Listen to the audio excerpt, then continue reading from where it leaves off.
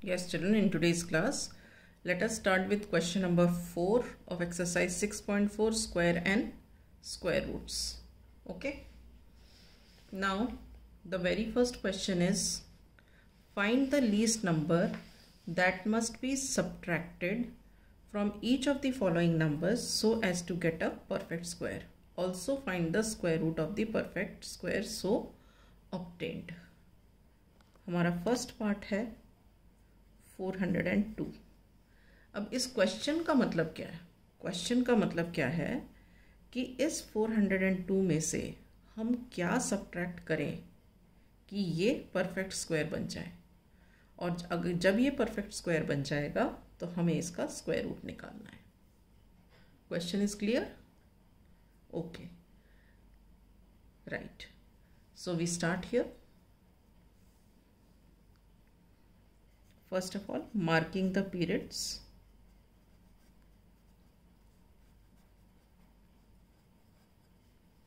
And solving we get. ये हमने लिखा 402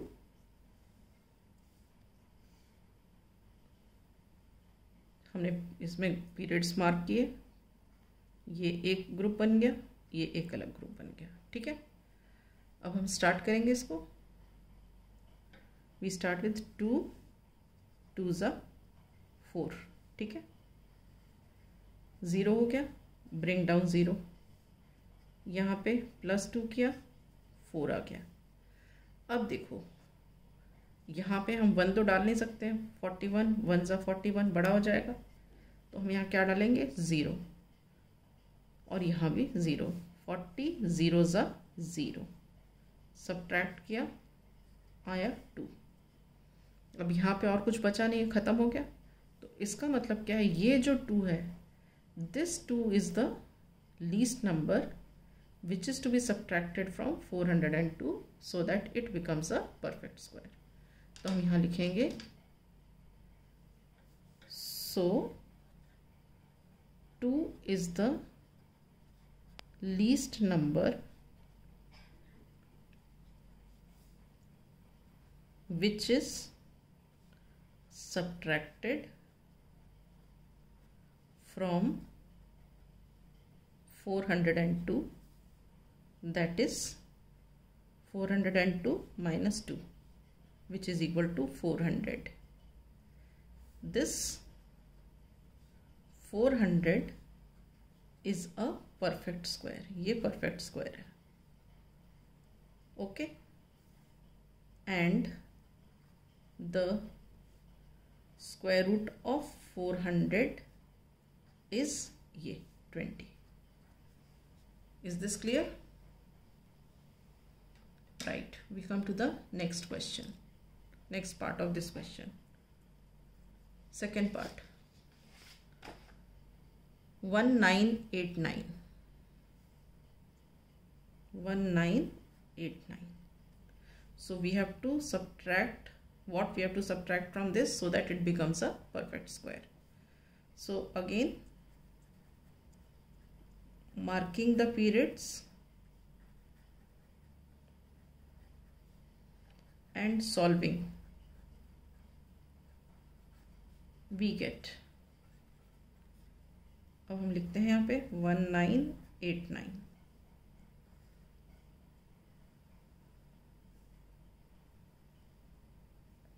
periods बनाते हैं मार्क करते हैं। ये दो ग्रुप्स बन गए। Now we start four four ज़ा सिक्सटीन बिकॉज़ फाइव फाइव ज़ा ट्वेंटी फाइव इससे बड़ा है। फोर फोर ज़ा सिक्सटीन सब्ट्रैक्ट किया थ्री आया। ये रहा एट्टी नाइन यहाँ पर हमने फोर ऐड किया। बन गया हमारा एट ठीक है? अब हम यहाँ पे ट्राई करेंगे कि अब क्योंकि ये परफेक्ट स्क्वायर नहीं है तो हम ऐसा नहीं कर सकते कि थ्री थ्री ज़ा नाइन करके देख लिए। यहाँ पे थ्री थ्री ज़ा नाइन या सेवन सेवन ज़ा फोर्टी नाइन वो अब नहीं हो सकता क्योंकि ये परफेक्ट स्क्वायर नहीं है।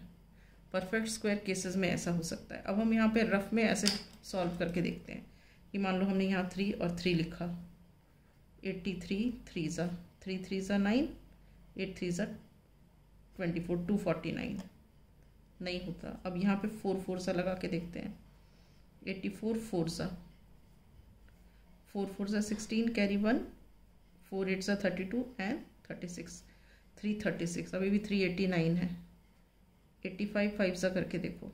फाइव फाइव सा twenty five carry two five eight सा forty forty and forty two अभी देखो फोर ट्वेंटी फाइव बड़ा हो गया और थ्री थर्टी सिक्स छोटा हो गया. तो इसका मतलब हम ये वाला लेंगे.